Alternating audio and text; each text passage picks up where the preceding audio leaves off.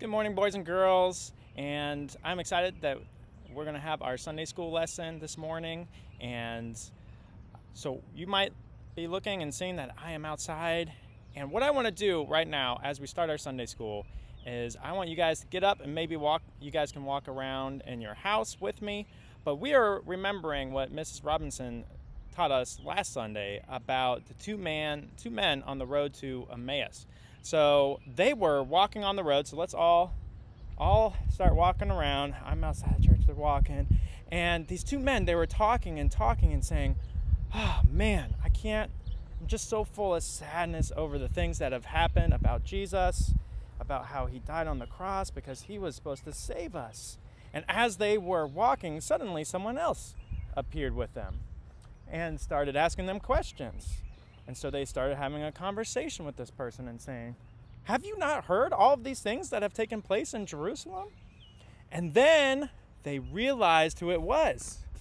It was it was Jesus. Jesus was there walking with them. And they were like, Whoa, this is amazing. Jesus is really alive. And they were so surprised. And then they decided to run back as fast as they could to Jerusalem. So let's run back. We're going to run back, run, run, run, run back to where we started. So we're running back. And now we're going to learn this morning what happened after they returned back to Jerusalem.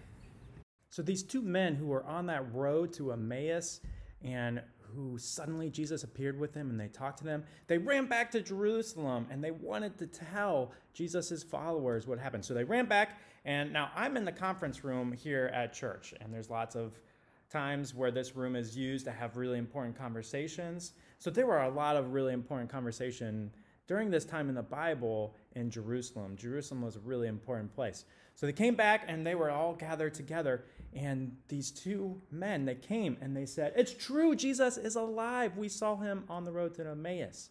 And so they started to have a discussion with each other. Can you believe what these people are saying? They're saying that Jesus really is alive. I can't believe it. It's amazing. All right. I know that's that's insane. It is it's amazing, but ah, I mean, I haven't seen him and I'm wondering if is, is all this really true? There's no way all these things are true. People don't come back to life. I don't know. I don't know if I believe all these things. So Jesus' followers were having lots of conversations. And you know what? Some of them had a hard time believing what they had heard that Jesus was alive. And as they were talking and discussing these things, something really amazing happened. All of a sudden, they heard a voice, and it said, Peace be with you. And I wonder, who do you think? I bet you guys can guess who that voice is, who, who, uh, who it was that said that. It was Jesus. Suddenly, out of nowhere, as they were discussing these things, and some of them were doubting, Jesus appeared and he was there in person with them. And they were all, whoa, whoa, whoa, whoa. Look, do you see their faces? Don't they look really surprised? Like, wow, what's going on? This is incredible. And they were startled and frightened, and they were like, it's a ghost, it's a ghost. Oh no, run away. Ah, and they're so silly that they would think that this was a ghost.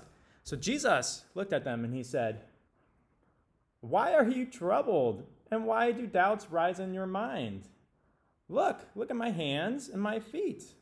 Jesus showed them the, the holes in his hands and the holes in his feet.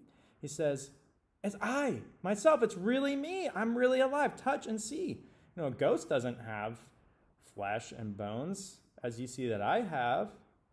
And he he did this and he was showing them, look, it really is me. This isn't just imagination. This isn't just something crazy happened. This really is true. Jesus really is alive and he was really there in person. Now, Jesus asked something right after this that's kind of an interesting question to ask. He says, Do you have anything to eat?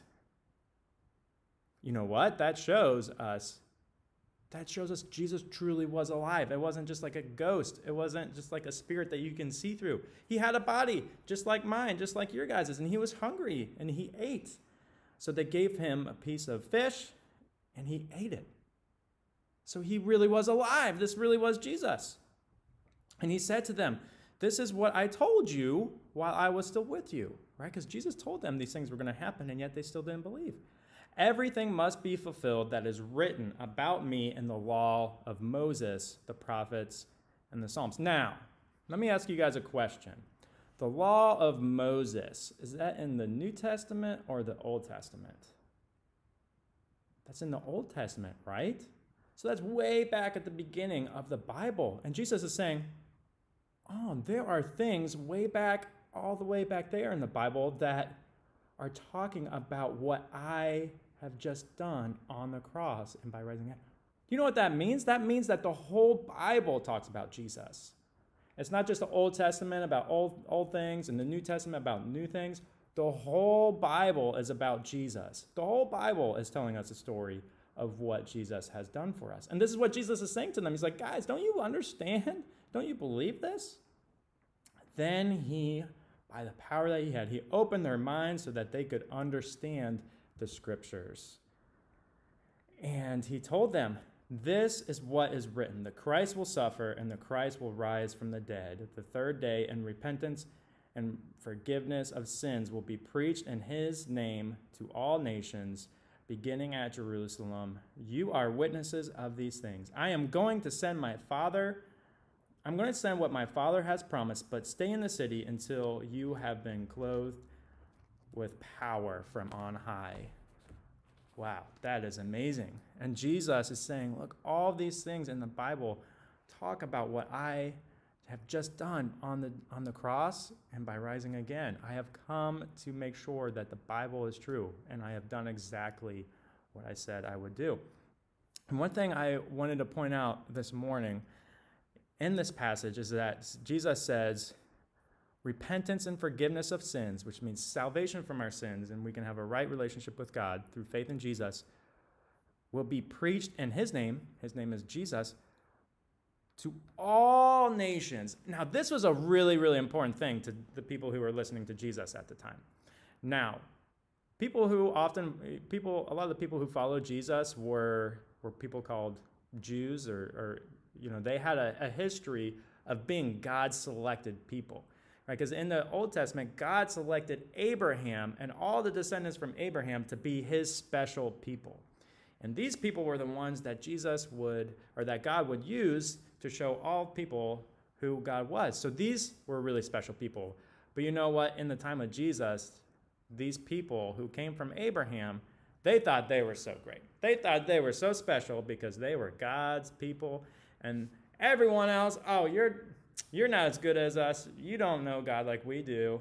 So we're special because God chose us.